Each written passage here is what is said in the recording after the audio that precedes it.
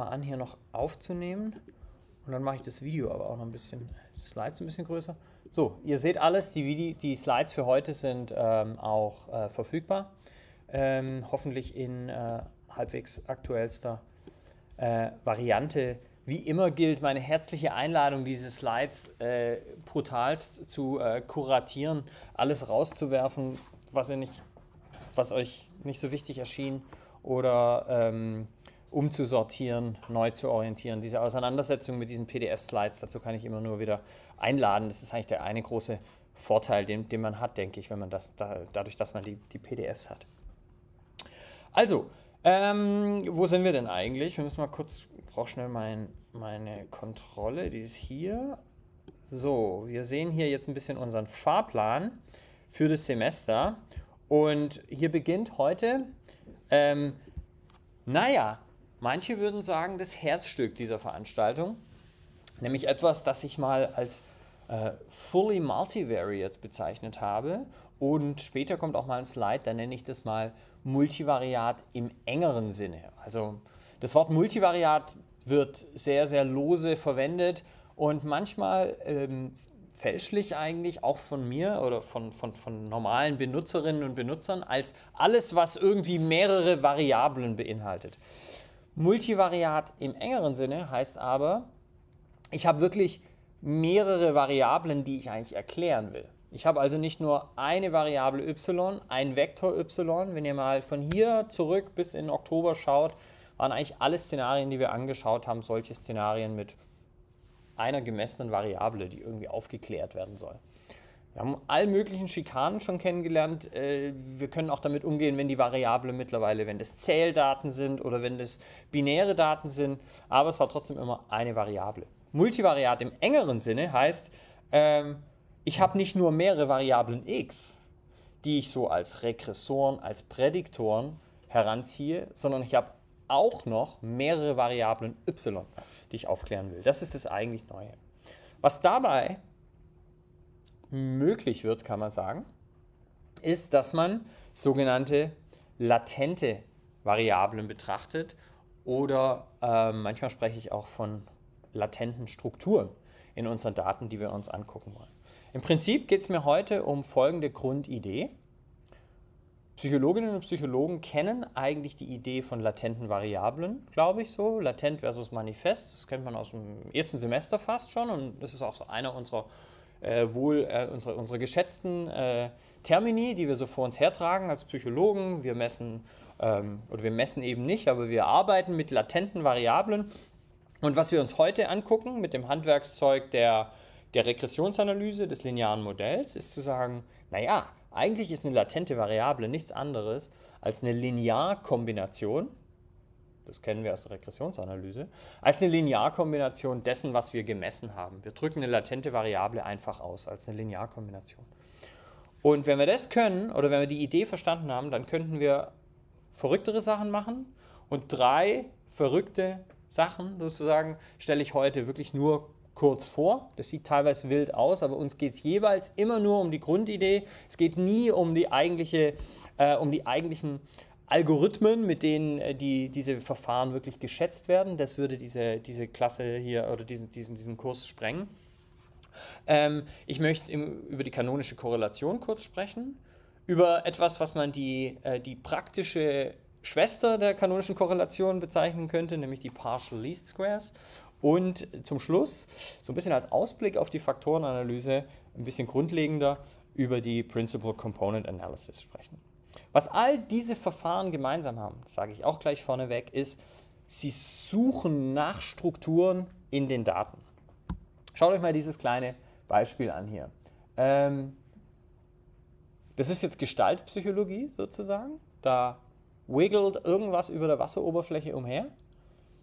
Äh, wie viele Tiere sind da eurer Meinung nach, wie, wie viele Tieren schauen wir da gerade zu? Einem, zwei, drei, vier? Denkt man irgendwie zwei. Ja? Was, was, was, was haben sie mit ihrem Auge gemacht?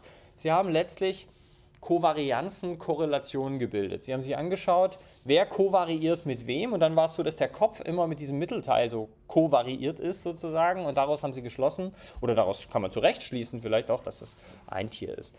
Wie ist es hier? Da ist es eindeutiger, dass es vielleicht irgendwie so eine Struktur ist. Ja?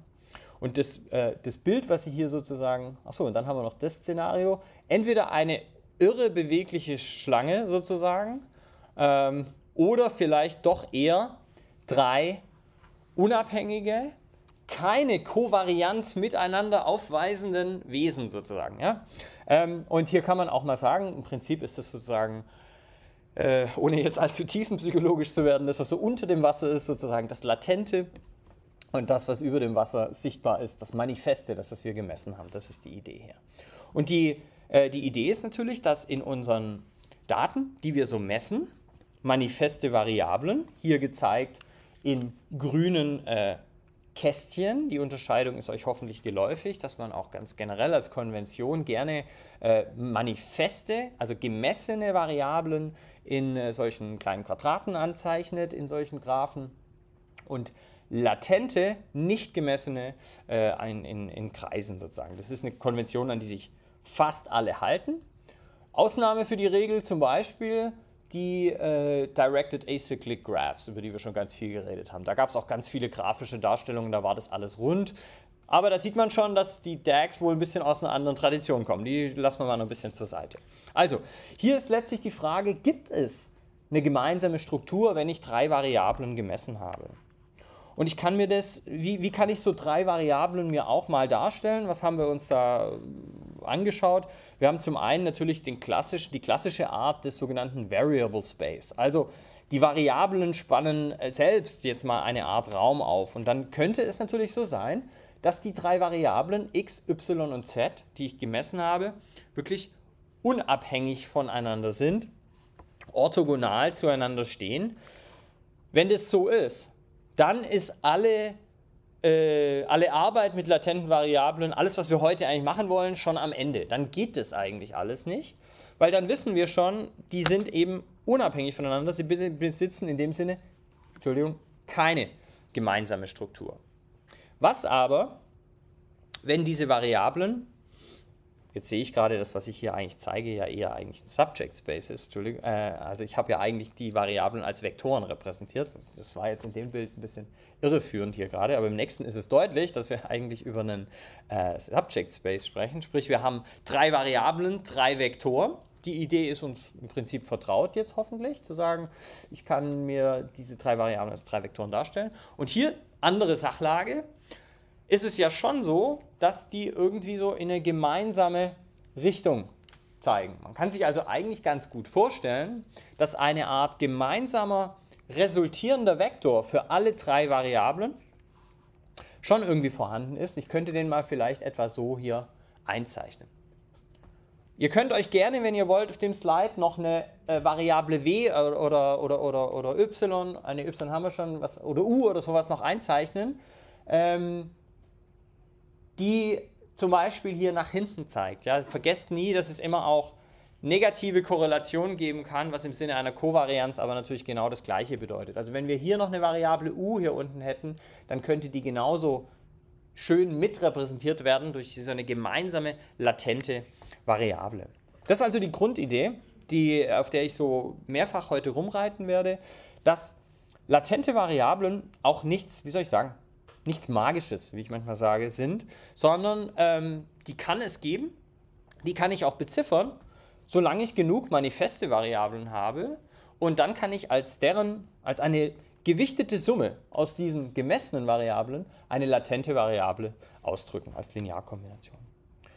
Vielleicht nur für uns als Psychologinnen und Psychologen kurz nochmal. Äh, latent manifest spielt ähm, in der Psychologie äh, eine sehr große Rolle. Ähm, und hier kann man ein paar Terminologien vielleicht noch zusammenbringen. Man kann sagen, die, oft ist so die Idee, dass die latenten Strukturen oder die latenten Merkmale, so denken wir als Psychologinnen oft drüber nach, äh, das Gemessene hervorbringen sozusagen. Ja? Also ich sitze da, ich komme mit meinem Fragebogen und lege dir ein paar Items vor und dann denke ich mir aber, dass das nur ein verrauschter irgendwie mit Messfehler behafteter Abdruck deiner, deines wahren äh, Empfindens oder deines wahren, ähm, deiner wahren Leistungsfähigkeit zum Beispiel auch ist oder deiner wahren Intelligenz.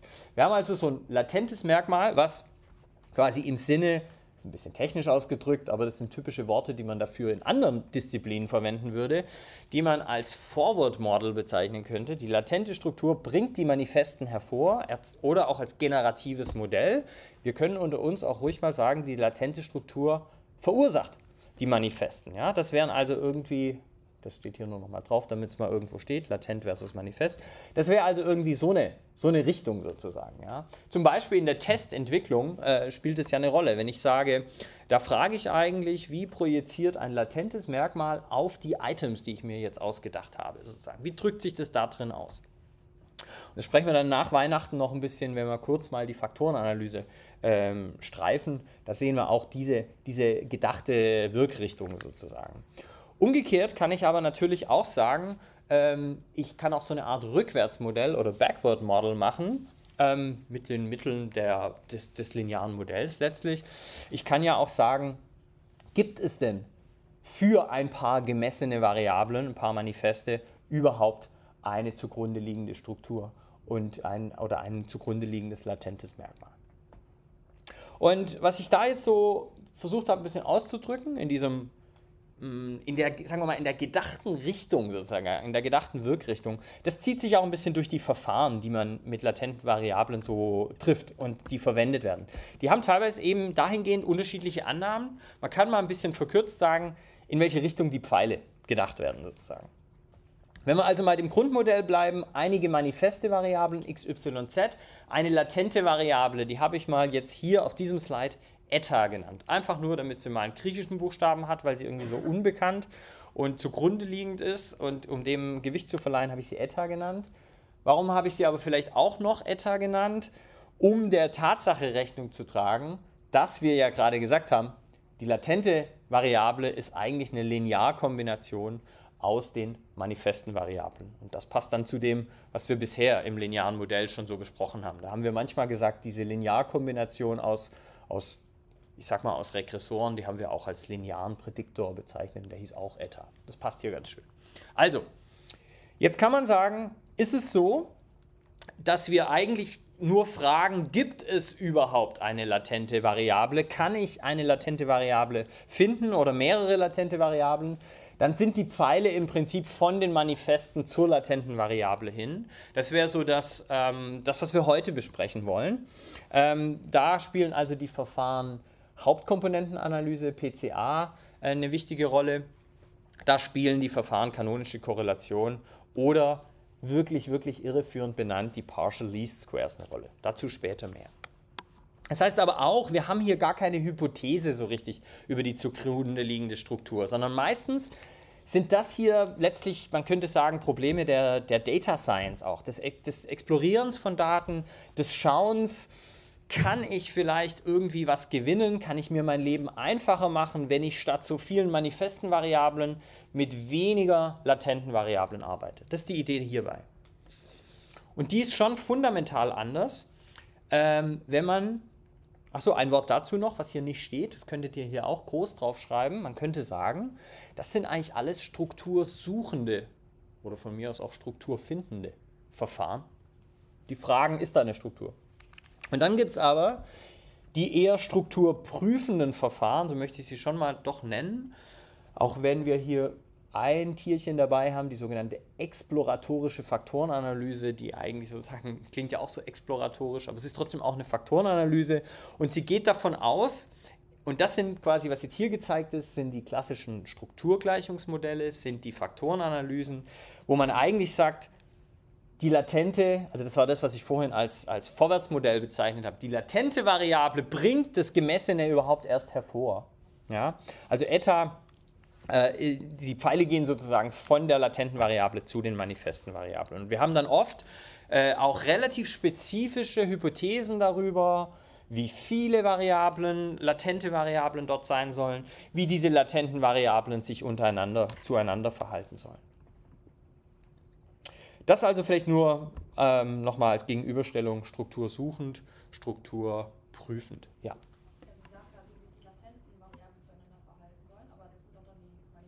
Nee, ähm, das sehen wir dann nach Weihnachten spätestens und heute auch schon ein bisschen. Ich muss ja nicht nur eine latente Variable haben. Auf dem Bild habe ich hier nur eine, aber das kann ich jetzt beliebig erweitern. In der Faktorenanalyse zum Beispiel, das kennen Sie vielleicht aus dem Grundstudium noch, habe ich mehrere äh, Faktoren. Das sind solche latenten Variablen und ich frage dann, sind die zum Beispiel unabhängig voneinander oder nicht aber sie, sie machen da einen guten Punkt. Wir wollen nämlich, da möchte ich jetzt eigentlich auch nochmal hin, dass sie sagen, was, was kennen wir denn schon? Bleiben wir mal wirklich auf dem, was auf dem Slide dann jeweils auch zu sehen ist. Ähm, wenn ich ein ganz einfaches Regressionsmodell aufschreibe, wie wir es kennen, mit einer x-Variable und einer y-Variable, dann wie, wie, wie würde die Struktur sozusagen dort aussehen?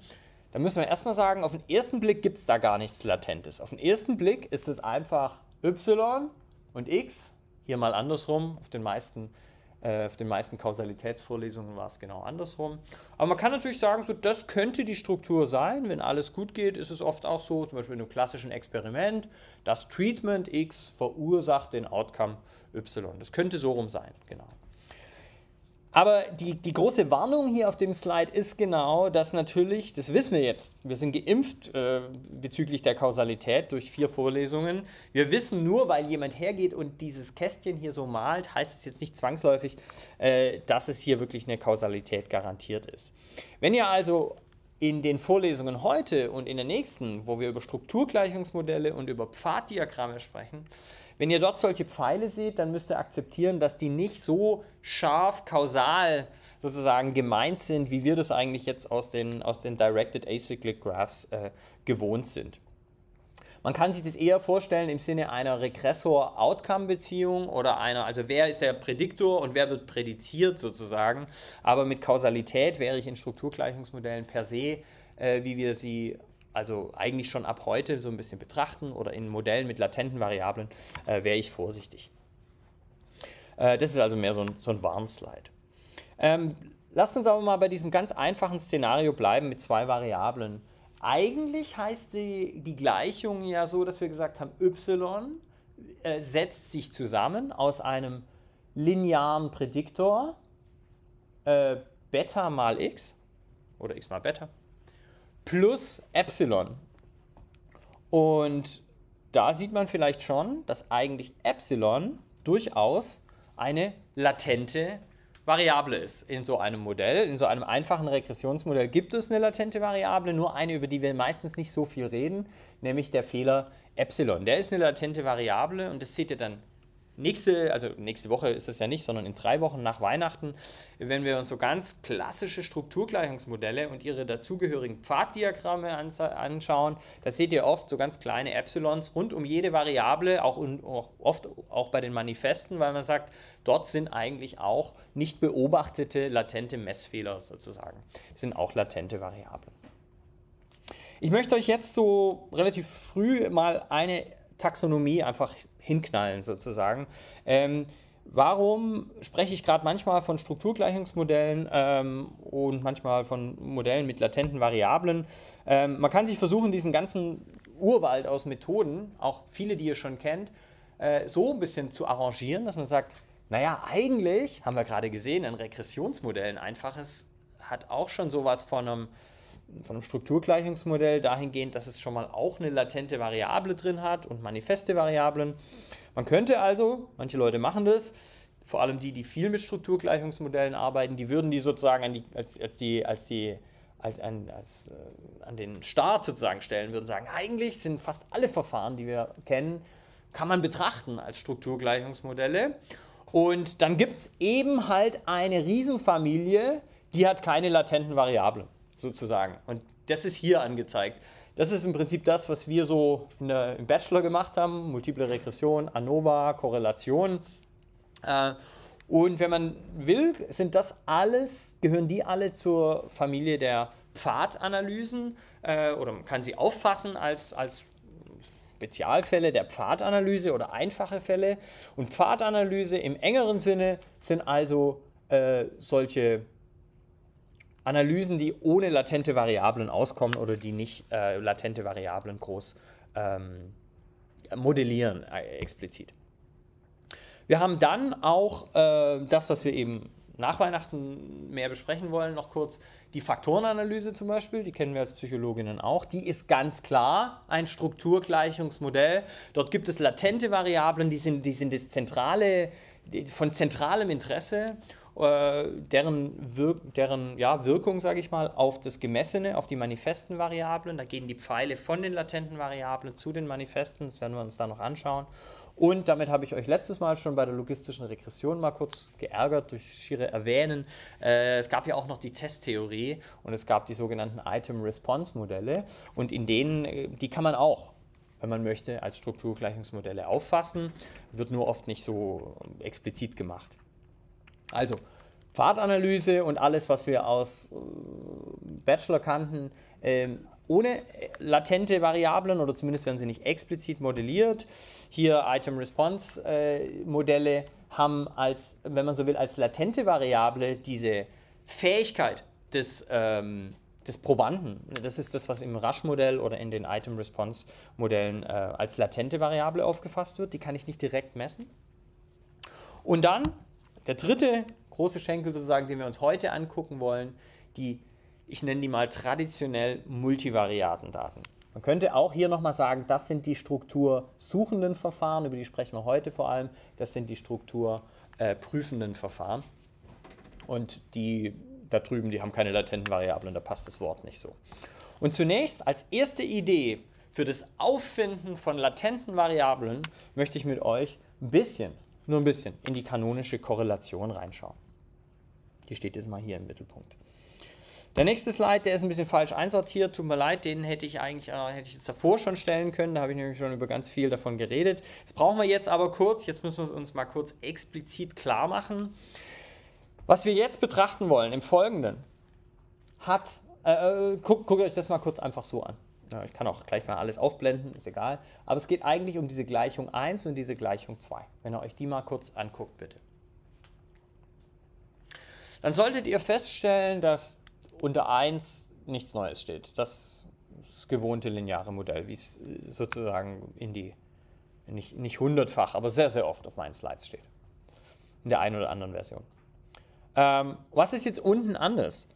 In 2 stehen eigentlich irgendwie dieselben Buchstaben, Verwirrenderweise kommt noch dazu, dass, ein groß, dass das kein B, sondern ein großes Beta ist und das kein großes E, sondern ein großes Epsilon. Was habe ich also gemacht? Ich habe das, was oben kleine Buchstaben waren, in große Buchstaben verwandelt und in große fettgedruckte Buchstaben. Warum habe ich das gemacht? Weil wir es jetzt auch dort, wo wir es vorher noch mit Vektoren zu tun hatten, es jetzt mit ganzen Matrizen zu tun bekommen. Ja? Also, y war ja bisher immer eine n mal ein n mal 1 äh, Vektor und ist jetzt, in den Fällen, die wir uns jetzt anschauen wollen, äh, ein ganze, eine ganze Matrize. Also quasi hat als, äh, als zweite Dimension nicht 1, sondern m. Ja? Und entsprechend passiert natürlich mit b und mit, äh, oder mit Beta und mit Epsilon äh, dasselbe. Ich habe nicht mehr ein Regressionsgewicht, was mir äh, die weg, oder ich habe nicht mehr, äh, wie heißt hier, K heißt hier, Entschuldigung, ich habe nicht mehr K-Regressionsgewichte nur, um äh, x, die, meine Kx zu multiplizieren, sondern äh, ich habe äh, letztlich K mal M Regressionsgewichte, denn ich muss ja für jeden, irgendwie muss ich jetzt beschreiben, wie jeder Regressor x auf jede der y-Variablen projiziert. Und das ist so ein bisschen, ja, und dieses das schauen wir uns jetzt an, ähm, was da mögliche Antworten auf dieses Problem sind. Und eine erste mögliche Antwort gibt die sogenannte kanonische Korrelation. Die kanonische Korrelation ist deshalb nett, weil sie im Titel etwas trägt, was wir seit dem ersten Semester kennen, nämlich Korrelation. Und das ist nicht falsch, genau das wird passieren. Also ich kann schon mal, kann schon mal sagen, im Kern passiert dann eigentlich wieder was ganz Einfaches. Sobald man mal diese komischen latenten Variablen gefunden hat, rechnet man einfach nur eine Korrelation zwischen zwei Variablen. Großartig, das kennen wir. Die Frage ist, wie kommt man zu diesen zwei ähm, äh, kanonischen Variaten, so heißen die manchmal auch, die da jetzt korreliert werden sollen. Also wie war es denn in diesem Fall 1? Wenn es keine Matrix, Matrix gibt für y, sondern nur ein Vektor, dann ist es ja geometrisch betrachtet dieses relativ simple Problem. Eine Variable y steht irgendwo in einem hochdimensionalen Raum umher und diesen hochdimensionalen Raum teilt sie sich mit zwei Variablen x1 und x2. Könnten auch noch ein paar mehr sein, aber mit zwei sieht man es eben gut. Diese zwei spannen einen sogenannten Subraum auf. Darauf können wir uns hoffentlich auch noch einigen, oder das habt ihr schon mal gehört. Das ist der Subraum NyX. Der Begriff steht auch manchmal nachher noch auf ein paar anderen Slides. So, was wollen wir machen in der einfachen Regression? Wir wollen schauen, wie viel der Varianz in y, also wie viel der Vektorlänge, kriege ich projiziert in diesen Raum. Ja, das seid ihr noch, das seid ihr noch dabei. Das ist hoffentlich ähm, noch geläufig. Das könnte dann also irgendwie so aussehen. Y-Hut, ebenfalls eine Linearkombination dieser beiden äh, X-Regressoren, liegt dann da drin. Was ist jetzt, wenn wir nicht eine Variable y haben, sondern ich zeichne einfach mal eine ein, eine zweite Variable y. Das x-Hut ist schon aufgeblendet, das noch kurz ignorieren, aber ich kann es auch einfach so machen. Jetzt können wir einfach mal sagen, kurz, äh, okay, äh, puh, okay, wir drehen das einfach mal um. Äh, können wir machen. Wir behandeln mal kurz, was ist das x2? Wir behandeln mal x2 als die aufzuklärende Variable und betrachten den Subraum, man könnte sagen, ny y den diese zwei Ys miteinander aufspannen. Na gut, und dann muss also der, der ist nicht Teil von dem Subraum, aber der muss da rein projiziert werden, dann mache ich eben das. Kann ich auch machen. Das sollte ja nicht fundamental anders sein. Ich regressiere also x2 auf y1 und y2. Und im Prinzip ist das auch schon die ganze Idee, dass jetzt, was hier jetzt für 2x und 2y gezeigt ist, und noch nicht vollständig gezeigt ist, aber irgendwie, dass das die Grundidee ist, dass ich sage, ich drücke alle Variablen aus diesem Satz x, Set, sagt man manchmal, aus diesem Set x quasi aus, als Linearkombination äh, des Set y. In dem Buch von Wickens, was ja dieses Geometrie, unser Geometrie-Go-To-Buch ist, wenn wir da mal Fragen haben, ist es dann einfach mal so gezeigt.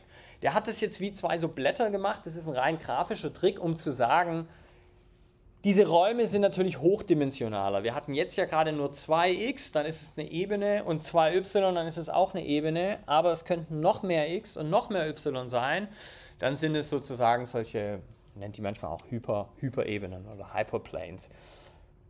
Was ich also mache ist, ich suche ähm, quasi, ja, die heißen, steht das Wort hier drauf, muss kurz gucken. Äh, ne, wir suchen quasi äh, einen neuen Vektor, und wenn ich sage neu, dann meine ich damit auch einen latenten Vektor. Den haben wir überhaupt nicht, den haben wir natürlich nicht gemessen, aber wir suchen einen Vektor, der quasi alles äh, repräsentieren soll, was y sozusagen ähm, hat, wenn ich, wenn, äh, nee, Entschuldigung, muss ich aufpassen, hier. Erstmal suche ich einen Vektor, der den Raum x sozusagen gut repräsentiert, der alle, alle Vektoren x quasi äh, so gut wie möglich repräsentiert. Und einen zweiten Vektor, der liegt im Subraum von y, den nenne ich dann mal v, der quasi äh, alles repräsentiert, was die y-Variablen darstellen. Und wenn mir das gelungen ist, dann kann ich einfach sagen, dann nehme ich einfach die Korrelation dieser beiden ähm, Vektoren, die quasi stellvertretend, wenn man so will, stehen für den Subraum x und für den Subraum y. An dem Spiel seht ihr jetzt auch schon, dass das nur funktioniert, was wir eingangs gesagt haben, wenn die ganzen x-Variablen untereinander eine gewisse Korrelation haben. Ja? Wenn die alle orthogonal aufeinander stehen, dann gäbe es keinen Vektor u, der diesen Raum gut repräsentieren kann. Und wenn die y's alle orthogonal zueinander stehen würden, dann gäbe es auch keinen schönen Vektor v oder v, der die gut repräsentieren kann. Ja? Genau. Genau, richtig. Das wäre erstmal einfach. Oder nicht einfach, aber das ist irgendwie eingängig, oder? Das kann, kann man sich vorstellen. Wie gesagt, solange unter den x-Variablen eine gewisse Korrelation da ist und unter den y-Variablen. Ich zeige euch mal ein Beispiel dafür mit einem so, einem so einem ganz klassischer Datensatz. Das ist jetzt aus MATLAB. In R gibt es auch viele so Datensätze. Ich weiß gar nicht, ob der CARS-Datensatz, der könnte sogar auch in R äh, vorhanden sein. Ähm, der CAR-Datensatz ist ganz lustig, das ist so eine Art Autohändler-Datenbank sozusagen. Der enthält ähm, viele Variablen zu Gebrauchtwägen sozusagen. Und zwar, ähm, wie viele Kilometer sind sie gefahren, Displacement, wie viel PS haben sie, wie schwer sind sie. Das kann man, wenn man möchte, mal kurz als die x-Variablen auffassen, die auch alle untereinander was miteinander zu tun haben. Und auf der anderen Seite Verbrauch und Beschleunigung. Das kann man sich vorstellen, wie so ein bisschen die Output-Variablen von einem Auto. Ähm, als y-Variablen. Also drei x-Variablen, zwei y-Variablen. Das heißt, an dem Beispiel sehen wir was, was wir bisher nicht gesehen haben, aber was gut ist, sich klar zu machen. Ich muss keineswegs gleich viel x und gleich viel y-Variablen haben. Es geht jetzt nur darum, dass ich mehr als eine y-Variable habe, das ist das Neue. Wenn ich nur eine y-Variable hätte, dann verkürzt sich die kanonische Korrelation zu, einer normalen, äh, zu einem normalen linearen Modell, wie wir es kennen. Was jetzt hier gezeigt ist, ist etwas, was ja sozusagen fast auch wie eine positive Korrelation aussieht. Sieht ein bisschen kurvilinear aus, das ignorieren wir mal kurz. Was wir hier aber gerade anschauen, sieht also sehr vertraut aus. Sieht aus wie ein Scatterplot. Ist auch ein Scatterplot, aber der Scatterplot zwischen zwei latenten Variablen. Nämlich der latenten Variable u und die ist eine Linearkombination aus. Bisschen Displacement, ein bisschen Horsepower und ein bisschen wenig Gewicht. Ja, wenig hat halt mit der Einheit vom Gewicht zu tun, weil das wahrscheinlich in Tonnen oder sowas ist. Ähm, und hier auf der y-Achse eine Linearkombination. Immer dran denken, latente Variablen nichts anderes als Linearkombination von manifesten Variablen. Eine Linearkombination aus ein bisschen Acceleration, die geht hier ein bisschen negativ ein, und äh, Miles per Gallon, also Verbrauch in Litern sozusagen. Ähm, das macht die Variable v aus. Das ist erstmal sehr, sehr schön. Das ist unsere erste kanonische Korrelation quasi für einen, wenn man so will. Wir haben angefangen mit einem Set von fünf Variablen. Zwei davon haben wir quasi als Outcome, als y-Variablen uns vorgestellt oder behandeln sowieso, wollen sie erklären. Und drei behandeln wir als Regressoren, als x-Variable. Und die werden sozusagen überführt in diese zwei latenten Variablen. Äh, so weit, so gut. Es lohnt an dieser Stelle, sich noch mal kurz diese Gleichung hier anzugucken. Ähm, wir hatten jetzt gesagt, y kann also mehrere Variablen haben, x sowieso, aber dann werden diese Regressionsgewichte müssen irgendwie, gibt es eben kompliziertere. Und vor allem, worauf ich jetzt noch hinaus möchte im Weiteren in der kanonischen Korrelation, ist, dass die Fehler nicht mehr ein Vektor sind. Man kann auch sagen, wenn ich fertig bin mit meinem Modell, habe ich nicht nur noch einen Vektor übrig, sondern ich habe eine ganze Matrix übrig. Was ist da los? Das muss man uns vielleicht, da habe ich, brauchen wir vielleicht auch die Tafel sonst noch mal kurz, um uns das vorzustellen.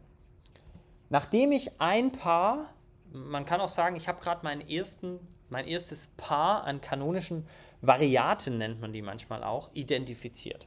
Ich habe quasi U und V identifiziert. Und Warum habe ich jetzt einen ganzen Satz von Residualvariablen übrig quasi? Das müssen wir uns vielleicht klar machen. Da muss ich mal kurz, ähm, das sieht man dann im Video nicht so gut, aber das ist, kann ich sonst nachher nochmal eine Grafik einbinden. Seht ihr das, könnt, könnt ihr mir das sagen, wie das aussieht? Was passiert denn da? Warum haben wir jetzt nicht eine y-Variable, sondern eine ganze Matrix?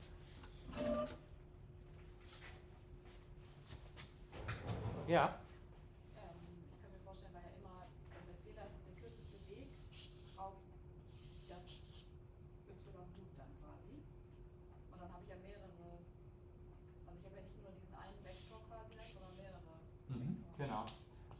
Mach mal kurz einfach nochmal irgendein Szenario mit drei x-Variablen.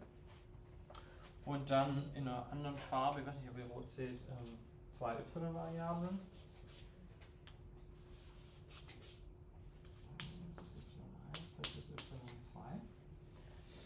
Normalerweise, nochmal denkt an den einfachen Fall, wenn ich quasi y in diesen Raum projiziert hätte, den die x miteinander aufspannen, dann hätte ich das so runter projiziert und dann hätte ich also einen, dann hätte ich y Hut gehabt und dann hätte ich genau diesen, hier, ich zeichne den mal kurz so ein, nur damit du siehst. Das wäre eigentlich quasi der, ähm, der die, die Fehler, ich, ich schreibe da mal hin, von y2 gewesen, wenn das eine einfache Regression gewesen wäre. Sozusagen. Ähm, jetzt haben wir aber umgekehrt quasi das Szenario, dass wir das auch noch für y2 natürlich machen. Äh, und kann man, kann, könnte ich auch noch einzeichnen quasi.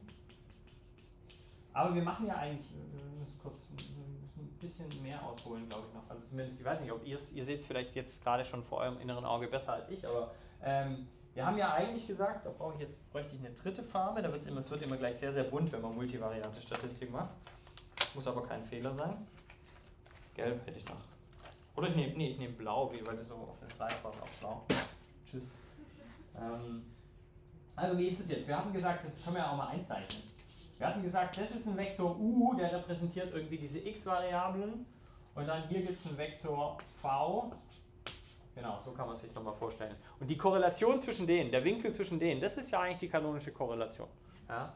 Aber wir haben natürlich hier sozusagen die, die Beziehung quasi, da sieht man auch, dass es quasi jetzt schon, egal wie rum ich drauf schaue, mehrere Fehler gibt. Also wenn ich frage, wie viel von x1 wird denn durch u erklärt, dabei bleibt ein Fehler übrig. Aber wenn ich auch sage, wie viel von x1 wird denn von v erklärt, dabei bleibt auch ein Fehler übrig. Es ist einfach nicht, ich bin nicht mit einmal fertig. Das ist aber deshalb total abgefahren, weil ich dann eigentlich sagen kann, Achtung, dann kann ich nämlich sagen, danke, U1 und V1 sind gefunden, kanonische Korrelation ist so und so. Aber jetzt beginnt das Spiel eigentlich von vorne. Weil wie sieht mein Residuenraum aus? Also die Orientierung weiß ich jetzt nicht genau, aber ich kann sicher sagen, dass ich äh, einen, ähm, dass ich etwas habe, was ich von x1 nicht erklärt habe. Ich habe irgendwas, was ich von x2 nicht erklärt habe. Ich habe auch irgendwas, es bewusst mal kurz irgendwo anders hin, was ich von x3 nicht erklärt habe. Und ich habe auch noch irgendwas, was ich von y1 nicht erklärt habe. Und ich habe auch noch irgendwas, was ich von y2 nicht erklärt habe. So, stimmt's jetzt? Das heißt, ich hatte mal fünf Variablen und mit fünf Variablen angefangen. Jetzt bin ich fertig, habe immer noch fünf Variablen. Das ist, äh, sagen wir mal, etwas äh, ermattend, ja, wäre vielleicht das richtige Wort. Ähm, und das ist auch der Grund, warum zum Beispiel Tabachnik und Fidel, ähm, ja, also das ist mathematisch ist es genauso. Ich kann jetzt wieder anfangen und kann fragen, gibt es denn ein zweites Paar kanonische Varianten? Man könnte die dann mal äh, U2 und V2 nennen, sozusagen für den zweiten Durchgang.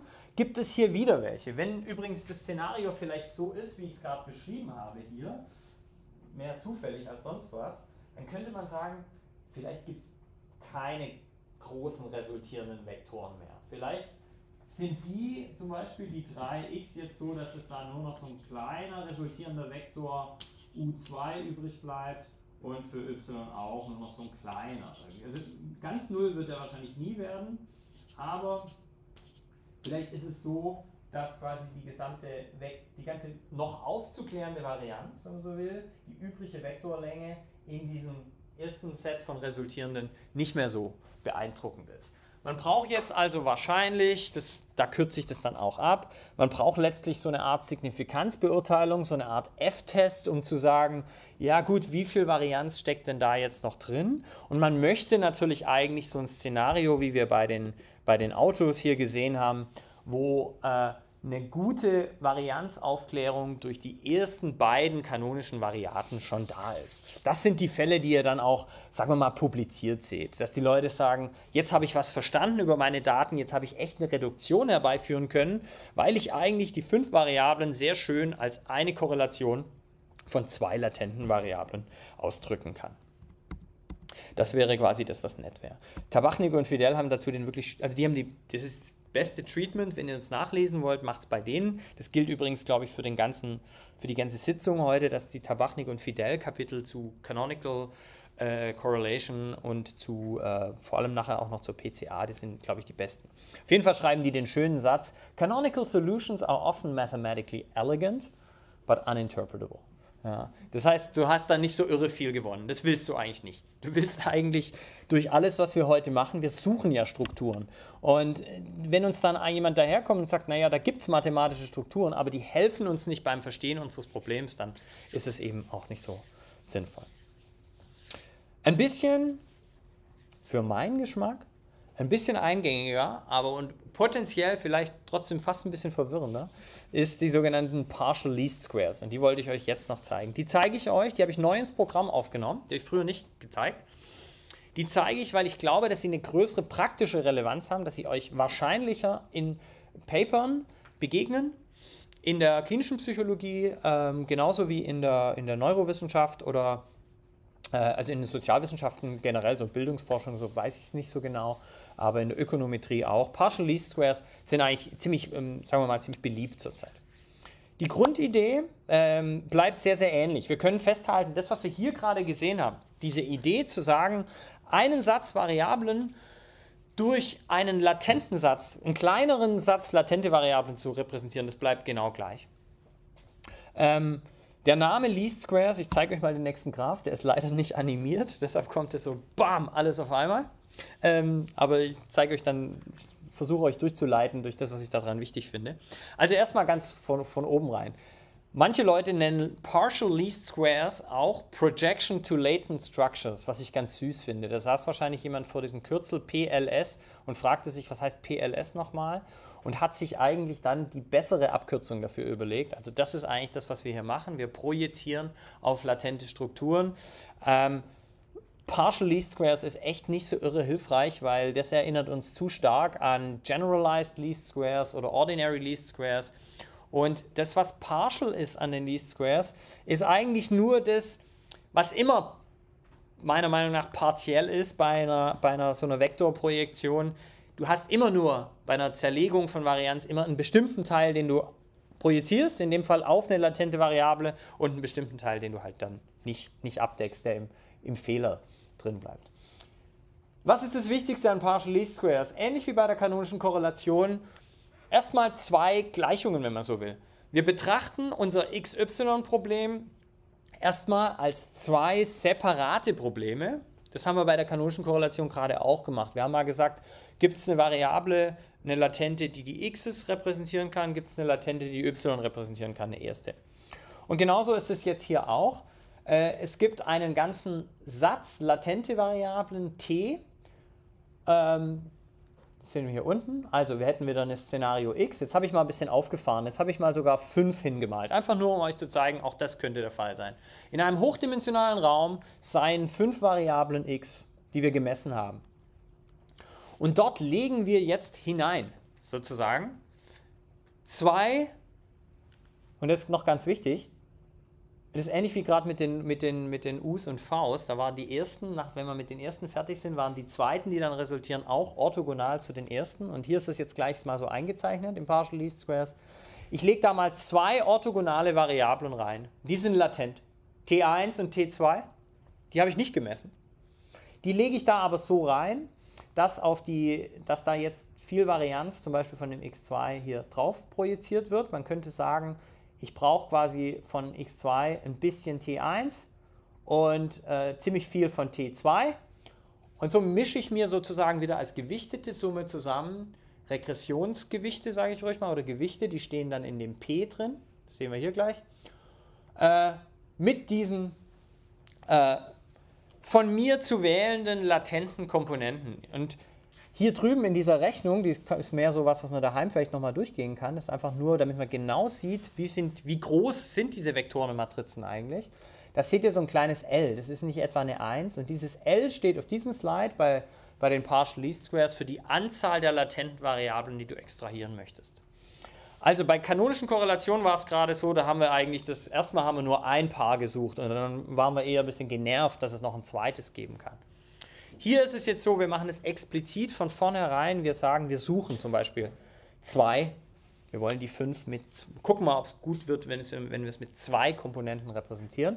Das heißt zum Beispiel dieses T hier, wo sind wir? Ah, Entschuldigung, doch hier, dieses graue. Das wäre sozusagen zum Beispiel 100 Beobachtungen mal zwei latente Variablen. Und dann brauche ich als Gewichte sozusagen, brauche ich quasi äh, fünf Gewichte. Ich muss nämlich fragen, wie meine fünf Variablen auf diese zwei Komponenten äh, projizieren quasi. Das sind die Gewichte, die in P drin stehen. Und das sieht ja eigentlich verdammt wie eine Regression aus sozusagen. Äh, nur halt ein bisschen, ja, nee, das, nee, genau, dieser Teil sieht eigentlich komplett wie eine Regression aus.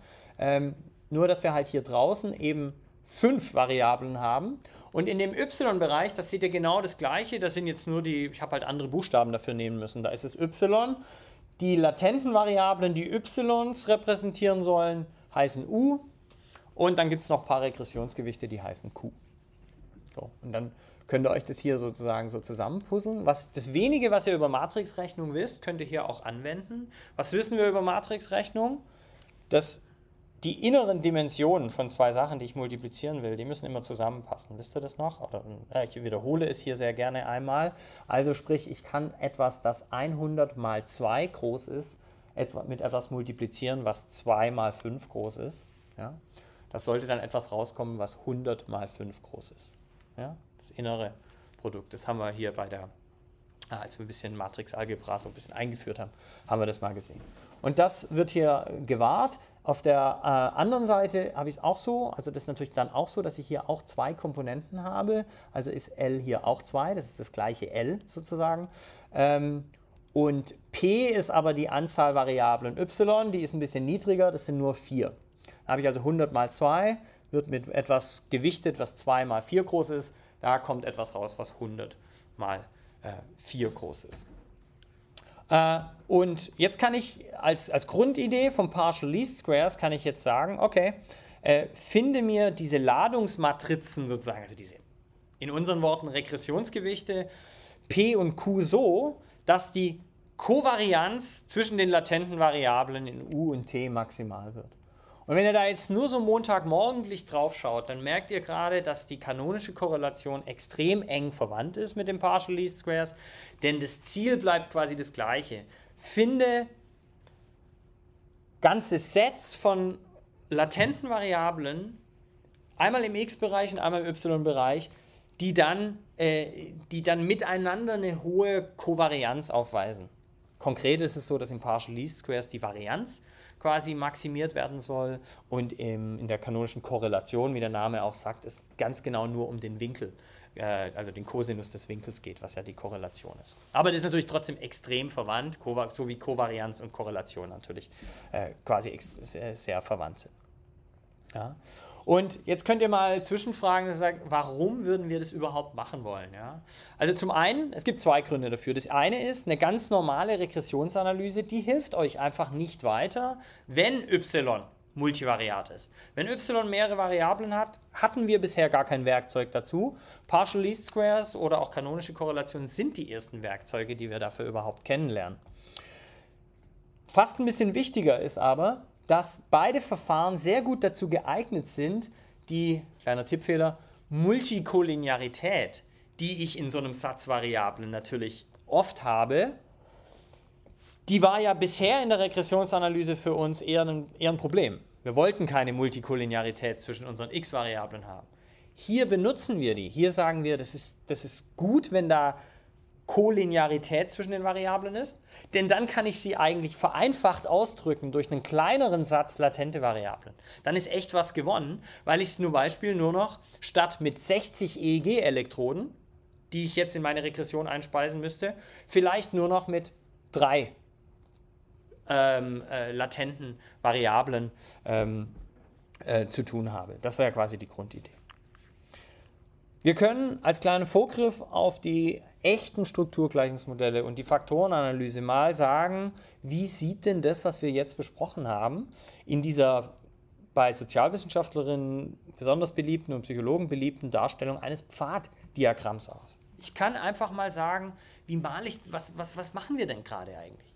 Was wir gerade machen ist, wir haben jeweils Sets von manifesten Variablen, hier sind es jetzt mal 2x, 2y, aber wir haben gerade gesehen, es können auch 5x und 4y oder 60x und, und, und 5y sein. Diese nehmen wir und finden eine, zum Beispiel bei der kanonischen äh, Korrelation, eine erste latente Variable, Kreis. Bei der kanonischen Korrelation heißt es die First Canonical Variate für x. Und das gleiche machen wir auf der y-Seite. Und jetzt können wir quasi mit einem doppelspitzigen Pfeil, das ist was, was, was es in den klassischen DAGs ja auch nicht gäbe, aber bei den Strukturgleichungsmodellen gibt es viel, da ist es sehr beliebt, dass man äh, solche ähm, ja, Kovarianzen oder Korrelationen ähm, quasi als ein doppelspitziger Pfeil ausdrückt, dass ich hier sage, ähm, wie ist die Beziehung zwischen den beiden. Wenn ihr so wollt, ist das also unser erstes Pfaddiagramm jetzt mal für einen Fall mit latenten ähm, Variablen. Kurzes Innehalten, kurzes Durchatmen. Was sind die drängendsten Fragen bis hierhin? Falls es welche gibt.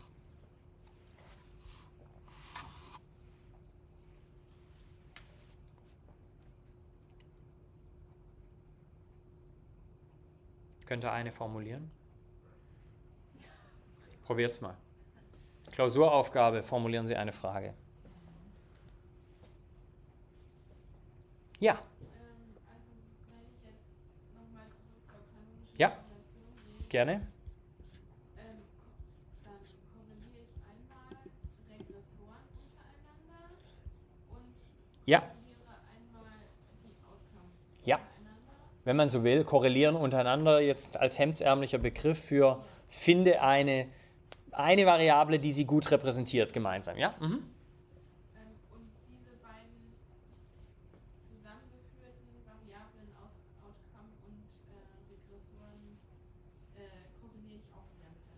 Genau. Also dieses U, was ja die x repräsentieren soll, das habe ich so gewählt, dass es die x möglichst gut repräsentiert. Und, die, und dieses V, was ich so gewählt habe, dass es die y repräsentiert, die korreliere ich miteinander. Andersrum wird natürlich ein Schuh draus. Eigentlich wird es so gemacht, finde V und U so, dass deren Korrelation maximal wird und sie aber auch noch gut die x und die y repräsentieren. Genau. Ah, und, weil, und wenn die die gut äh, repräsentieren, dann gehen wir davon aus, dass die halt zusammengefasst sind als eine latente Variable. Genau. Dass das, sagen wir mal, also mathematisch kann ich das immer machen. Ich kann immer drei, ich kann immer aus drei Vektoren oder fünf Vektoren eine Art resultierenden Vektor ausrechnen. Das kann ich immer machen. Aber die Frage ist ja, hat der Länge? Erklärt der Varianz? Ist das eine gute Repräsentation? Ja? Und eine genug gelungene kanonische Korrelationsanalyse würde sagen, schau mal, ich habe ein erstes Paar U und V gefunden. Die sind ganz schön gut korreliert. Sag ich sag jetzt mal Punkt 4. Ja? Äh, und die habe ich gefunden, die korrelieren immerhin mit Punkt 4 und die sind jeweils die, die beste Repräsentation von x und y ihrerseits. Und wenn es ganz gut läuft, ist es jetzt auch noch so, dass danach, es ging ja immer weiter, haben wir gesagt, danach kommen nur noch ähm, kanonische Variatenpaare, die dann, die dann ganz wenig Varianz aufklären oder die auch nicht mehr korreliert sind. Die haben keine Vektorlängen mehr und die sind am besten auch nicht mehr korreliert miteinander. Viel. Ja? Das wäre sozusagen ein gelungener Outcome. Und eigentlich alles, was wir gerade gesagt haben, könnten wir so, weil wir sowieso so ein bisschen mit der Terminologie es etwas locker gerade nehmen und mehr auf Verständnis angelegt sind. Das gleiche hätten wir gerade über die Partial Least Squares eigentlich auch sagen können, sozusagen. Bei den Partial Least Squares wäre genauso das Ziel gewesen, latente Strukturen zu finden. Ähm, da ist jetzt nur der Schwerpunkt nicht so auf so einem Paar. Da könnten wir auch gleich sagen, wir haben eine tolle Beschreibung gefunden aus einer latenten Variable für die x und zwei latenten für die y. Ja, und die gemeinsam bilden ein gutes, ein gutes Modell, die haben hohe Kovarianz und die ihrerseits sind dafür zuständig, die x- und die y-Variablen zu repräsentieren. Ja? Genau, also haben sie eigentlich so, den, den Gist äh, dieser Methoden haben sie damit sehr gut äh, nochmal zusammengefasst, finde ich. Die eigentliche Take-Home-Message ist, ist, ist die sozusagen. Also was haben wir bis jetzt gesehen? Das, ist, das stand eigentlich schon auf dem ersten Slide. Ich sage es nur noch mal explizit, weil es uns eben auch, weil es auch nicht mehr weggeht, weil es für jede Strukturgleichung, die noch kommt und für jedes Fakt faktorenanalytische Modell gilt. Latente Variablen haben, das, also mich hat das damals ein bisschen umgehauen, muss ich sagen, als ich es angefangen habe, dieses Modul zu lernen. Das ist vielleicht jetzt wieder, sagt ihr wieder, was Herr Obleser alles begeistert. Aber ich fand es wirklich, ich hatte ein bisschen so einen Heureka-Moment damals, als ich gemerkt habe, also als Student fand ich latente Variablen, ja, ist so latent, so Intelligenz und so, mhm, ja, ja, okay. Äh, und jetzt, ja, ich verstehe schon, wir messen da irgendwas, aber irgendwann fand ich das sehr eindrücklich, dass man sagt, latent heißt nichts anderes als, ja, ich drücke es eben nur als, ähm, als Linearkombination des Gemessenen aus. Aber deshalb ist es einfach nicht weniger reell oder so als das, was ich gemessen habe. Ja? Das ist einfach eine Art, was Latentes zu repräsentieren heißt, ich gewichte das, was ich gemessen habe. Natürlich ist es dann, der Teufel steckt im Detail. Ich muss immer diese Regressionsgewichte adäquat finden oder diese Gewichte. Ähm, aber eine latente Variable eta ist nichts anderes als eine Linearkombination von gemessenen Variablen. Und wenn es eben gut funktioniert, dann bekomme ich auch viel Vektorlänge, bekomme viel gemeinsame Repräsentation. Für den letzten Teil der Vorlesung heute ähm, möchte ich eigentlich fast noch mal einen Schritt zurücktreten. Ich möchte jetzt noch die Hauptkomponentenanalyse gerne einführen. Und da machen wir jetzt folgendes. Für die Hauptkomponentenanalyse vergessen wir jetzt mal dieses x auf y Problem, dieses Regressionsproblem, dieses Erklärproblem, sondern wir beschäftigen uns eigentlich ein bisschen mit ein bisschen mehr Detail mit dieser Frage, wie mache ich denn das, dass ich einen Satz Variablen, also wir können jetzt ab jetzt mal nur über x sprechen, aber vielleicht ist x noch ein bisschen größer, vielleicht sind es nicht nur 5, vielleicht sind es 100 Variablen x oder sowas. Wie macht man denn das, dass man so einen Satz x, äh, Variablensatz x, groß, fett x sozusagen, dass man den eindampft, sage ich mal in meinen Worten. Es geht eigentlich bei diesen struktursuchenden Verfahren und die, die Hauptkomponentenanalyse ist halt da das Verfahren schlechthin, letztlich um das, um, um, um das Eindampfen von Dimensionen. Ich habe hochdimensionale Probleme, die ich mir selber geschaffen habe, üblicherweise durch Messungen. Ja? Zum Beispiel, indem ich einen Neo-FFI verabreicht habe, der hat halt eben, weiß nicht, 60 Items, wenn es reicht, äh, oder sonst was. Ja? Ähm, damit damit habe ich ein hochdimensionales Problem geschaffen. Ich habe 300 Leute oder 600 Leute, ähm, damit in einem 600-dimensionalen Raum habe ich 300 Vektoren oder sagen wir mal 60 Vektoren reingestellt, indem ich 60 Items ähm, äh, gemessen habe. Diesen, diese 60 Vektoren, das ist jetzt das Orange da oben, diese 60 Vektoren Herr zu werden, das wäre jetzt die Frage, wie kann ich das, wie kann ich das machen? Ja. Ähm, ich habe noch mal eine Frage Gerne. zur ähm. Ja. Je mehr, also je mehr verschiedene Variablen ja das gleiche beschreiben, desto mehr kann ich ja annehmen, dass die auf eine latente Variable zurückzuführen. So ein bisschen so, wie es hier gezeigt ist da. Genau. Okay, und das ist genau das, was wir versuchen herauszufinden. Also wir versuchen ja, was ultrakomplexes so einfach wie möglich zu machen. genau. Das schreibe ich ins Modulhandbuch. Das ist wirklich sehr, sehr gut. Ich hoffe, ich habe es jetzt auf, man hört sie immer so schlecht auf Video, was Ihnen wahrscheinlich recht ist, aber Sie haben gesagt, etwas ultrakomplexes so einfach wie möglich zu machen. Ja, indem ich versuche, das mit wenigen äh, Variablen zu beschreiben, die wiederum viele Variablen beschreiben, die sich ähnlich sind. Genau. In dem Fall. Die Welt ist doch irgendwie schöner, wenn ich mich nicht mit X, Y, Z rumschlagen muss, die auch noch hoch korreliert sind, sondern mich stattdessen ab jetzt mit Eta rumschlagen kann. Das wäre die Idee. Beim struktursuchenden Verfahren, ja? Das genauso. Also das wäre, da, ich versuche gerade mein Leben einfacher zu machen. Hochkomplexe Dinge so einfach wie möglich ausdrücken, mathematisch ausdrücken, um dann mit diesen einfacheren Problemen weiterarbeiten zu können. Uns ist auch klar, dass das nicht immer gleich gut geht, sozusagen. Ja, aber jetzt gerade in diesem Fall, das ist doch, eigentlich ist das ein schöner Graph hier, Slide 29, weil, äh, nochmal, bevor ich heute angefangen habe, mit euch drüber zu reden, hättet ihr gesagt, Huch, Multikollinearität, Riesenproblem, sind ja alle total korreliert. Wie wollen Sie da überhaupt eine Regressionsanalyse mitmachen, Herr Obleser? Ja? Und jetzt sage ich, ich mache sozusagen das, was eigentlich in meinem, was, was eigentlich wie ein Problem klingt, ist eigentlich ein Riesenvorteil für mich. Nämlich, dass es eine gemeinsame Struktur gibt.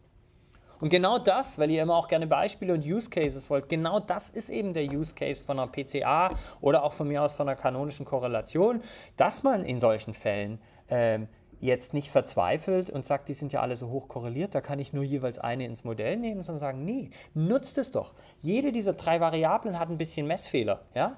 Denk drei Items oder sowas, ja? Oder drei unabhängige, und nicht eben nicht unabhängige, drei verschiedene Maße, die ihr in der Klinik erhoben habt. So jedem, jedem traut ihr so ein bisschen.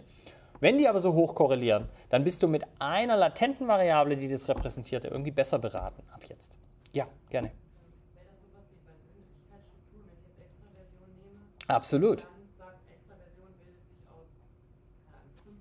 Genau, genau, absolut. Das sehen wir dann nach Weihnachten, wenn wir Faktorenanalyse mal kurz explizit als eine Art Spezialfall der Strukturgleichungsmodelle angucken, sehen wir genau das. Genau. Genau. Also was ich hier in Orange geschrieben habe. 60 Items. Ich denke mir, der Neo FFI hat 60 Items. Vielleicht stimmt es auch nicht, aber der Neo FFI ist der klassische Fragebogen, mit dem ich diese, diese fünf, die Big Five, ganz gut messen kann, die auch mit ordentlich Items gemessen werden. Aber dann sage ich vielleicht, stecken da drin vielleicht drei, was wir als Psychologinnen und Psychologen dann Skalen nennen, sozusagen. Ja? Was sind Skalen dann eigentlich? Skalen sind dann eigentlich auch Linearkombinationen aus diesen Items. Ich weiß, ich nehme die neun Items, ich gewichte die mit einer sogenannten äh, Faktorladung und die laden dann auf, einen, äh, auf eine latente Variable und das ist dann der Faktor. Und dann das klassisch psychologische Problem. Wie heißt die? Da kann ich sie nicht einfach eta nennen oder u, sondern da muss ich mir halt überlegen, da muss ich sagen, aha, dann kommen inhaltliche Erwägungen, dass ich sage, aha, das könnte sowas wie Extraversion sein. Genau, weil wir, weil, weil, weil wir uns lieber hochkomplexe Dinge einfach machen, äh, lieber mit drei äh, Dimensionen rumschlagen als mit äh, 60. Ich kann Ihnen versprechen, dass das Costa und McCrae Paper nicht so erfolgreich geworden wäre, wenn es gehießen hätte, äh, 60 Dimensionen der Persönlichkeit. Äh, jetzt waren Sie, glaube ich, zunächst und dann Sie nochmal, ja? Ähm, und da ist- wäre ja quasi dann, dass man sieht, okay, die Vektoren von, einem, von einer Skala, das sind ja die einzelnen Items, die zeigen in eine Richtung, das heißt, die messen es ähnlich. Oder ein bisschen in die andere, dürfen auch negativ korreliert sein, genau, aber dann haben Sie trotzdem eine gemeinsame. Und da, kann, da sehe ich ja dann, okay, da, da mache ich eine, einen Vektor draus, das ist dann der latente. Sie haben viel kapiert, scheint mir. Also, ist super, freut mich. Genau, und dann hatten Sie noch eine Frage oder einen Kommentar? Ja, wenn ich, wenn ich was sehr Komplexes sehr einfach mache, dann müsste ich ja auch äh, anders als jetzt bei der multiplen Regression oder so, müsste ich ja auch anders die Modellparameter schätzen. Oder? Also das sind doch dann eine ganz andere Anzahl. Wenn ich was. Ja, aber ja nicht mehr. Naja, eher weniger. Also, ich weiß nicht, ob ich die Frage jetzt so verstehe. Das ist so, das ist so ein Statement, ja. Das ist. Äh, ähm, worauf wollen Sie genau hinaus? Wollen Sie genau hinaus, wie man das jetzt macht, oder? Ja, wir sollen es das, äh, oder das ist quasi auch wie so eine Regression. Ja, kann man sich so vorstellen. Also meine, ne, klar, das ist eine, das sehen wir auch gleich nochmal so eine Gleichung. Also ich denke immer, jede dieser, dieser Linearkombinationen, das ist das Gleiche, was in rechterseits in der Regression passiert, oder? Ich drücke ein paar Variablen, ich, ich summiere ein paar Variablen, aber vorher gewichte ich sie jeweils noch ein bisschen. Ja? So, gehen, so gehen resultierende Vektoren sozusagen. Genau. Und ähm, wenn wir das mit einem Satz, äh, mit einer Variable y machen, dann versuchen wir, äh, die als Linearkombination der x-Variablen auszudrücken. Danach liegt sie auf jeden Fall in dem Raum, den die x-Variablen aufspannen. Und jetzt gerade ist kein Regressionsproblem im engeren Sinne, aber erstmal versuchen wir die Variablen untereinander. Wir versuchen ja auch so einen gemeinsamen resultierenden Vektor zu finden, der ebenfalls in diesem Raum liegt. Ähm, aber erstmal, das Problem bleibt immer das gleiche. Ich brauche so viel Gewichte, wie ich Beziehungen sozusagen beschreiben will. Also wenn ich sozusagen sagen will, wie kommst du von x1 auf diesen Vektor, dann brauche ich dafür ein Gewicht. Wenn ich aber in einem, in einem, in einem kanonischen Problem irgendwie eigentlich da zwei da drüben, zwei Latente hier habe und eine Latente, dann muss ich eben sozusagen auch noch beschreiben, wie alle auf diese zwei Latenten projizieren. Das, sehen Sie bei dem, bei dem PLS, äh, also Partial Least Squares, hier sehen Sie es nochmal ganz nett, äh, wie dieses, dieses Orange, der orangene Block und der rote Block, wie die, nur, das ist ja hier nur symbolisch, die Matrixgröße quasi angedeutet, wie die quasi ein bisschen anwachsen sozusagen. Sie können sich gerne als Fingerübung das nochmal für die ganz einfache lineare Regression daneben malen oder zurückgehen in Vorlesung 5 oder sowas, wo ich das mal gemacht habe. Da sehen Sie, da ist halt Beta einfach nur so ein Vektor, weil wir halt gesagt haben, ja gut, das sind halt K-Einträge für K-Regressoren. Und jetzt wird es halt ein bisschen komplizierter, weil ich quasi auf äh, mehrere Variablen gleichzeitig projizieren möchte, aber ich muss genauso so ein Regressionsgewicht finden. Gut, jetzt noch Hauptkomponentenanalyse. Vielleicht kurz, weil wir schon so viel über Items und Fragebögen geredet haben. Das ist auch wichtig, das ist immer für mich der Anknüpfungspunkt, wenn es um Dimensionalitätsreduktion geht. Ähm, aber diese Verfahren, die wir jetzt besprochen haben, und vor allem das, was wir jetzt gleich noch besprechen, kommt auch zum Einsatz, wenn ich eben ganze Domänen, sage ich mal, miteinander vergleichen möchte. Und das haben wir in der Psychologie, in der klinischen Psychologie genauso wie in den Neurowissenschaften äh, sehr oft. Wir könnten sagen, wir haben eine Domäne, die könnte man vielleicht als Kognition oder so bezeichnen. Testergebnisse aller Art, ganz verschiedene Tests, die aber irgendwie untereinander, von denen wir untereinander glauben, dass sie den, den Probanden irgendwie repräsentieren. Und auf der anderen Seite vielleicht biologische Variablen, äh, physiologische Variablen. Hier habe ich einfach mal Gehirn geschrieben. Ja? Und das könnte dann auch schon wiederum beliebig komplex sein. Es könnte sein, dass man zum Beispiel mehrere Knotenpunkte hatte im, im, im Gehirn, die man per funktioneller Bildgebung beschrieben hat. Man hat da solche Bold-Zeitreihen zum Beispiel oder so im Gehirn. Und zwischen denen rechnet man Konnektivitäten aus. Also es ist an sich schon wieder komplexe Datenanalyse, aber es sind auf jeden Fall, wenn man fertig ist, zu viele, um sie jetzt einfach so mit Kognition zu korrelieren. Oder man glaubt nicht, dass es besonders ergiebig sein wird, sehr viele Konnektivitäten aus dem Gehirn mit sehr vielen Testergebnissen auf der Kognitionsseite zu, zu korrelieren. Also wäre es doch vielleicht gut, hier ebenfalls wieder jeweils eine Dimensionalitätsreduktion zu machen. Das, was also hier so beschrieben ist in Rot, ist im Prinzip ein Einsatzgebiet für eine kanonische Korrelation oder auch für eine äh, Partial Least Squares. Und jedes Problem für sich, also wie mache ich aus 16 beobachteten Konnektivitäten im Gehirn drei latente, das ist ein Thema für die äh, Principal Component Analysis oder Hauptkomponentenanalyse, die wir uns jetzt noch anschauen. Und als allerletztes Beispiel auch noch, was immer mehr eine Rolle spielt, wenn ich Daten aufnehme, die ich eben nicht mehr mit meinem Fragebogen und auch nicht mit meinem MRT-Scanner aufnehme, sondern zum Beispiel Video- oder Audiodaten, mit denen wir es ja auch immer mehr als Psychologinnen und Psychologen zu tun bekommen. Äh, die sind in sich zum Beispiel auch extrem hoch korreliert. Wenn ihr so ein Videoframe habt, der besteht aus Tausenden von Pixeln und dann über die Zeit ändert sich da jeweils ein bisschen was, aber das Pixel, die Pixel sind untereinander natürlich total hoch korreliert, wie sie sich auch verändern äh, in der Helligkeit und sowas. Wenn du aus sowas die Gesichtsmimik zum Beispiel rausziehen möchtest oder überhaupt irgendwie Bewegung, ich zeige euch nachher zum Abschluss heute ein kleines Beispiel von der Maus, ähm, dann äh, ist ebenfalls eine Dimensionalitätsreduktion extrem angezeigt. Also Achtung, schnallt euch an für die Principal Component Analysis. Alles, was wir in der Principal Component Analysis besprechen, hat eine sehr, sehr enge Verwandtschaft ebenfalls wieder zur Faktorenanalyse. Die Unterschiede sind erheblich, aber sind gleichzeitig liegen auch im Detail irgendwie. Also die Grundidee ist durchaus verwandt.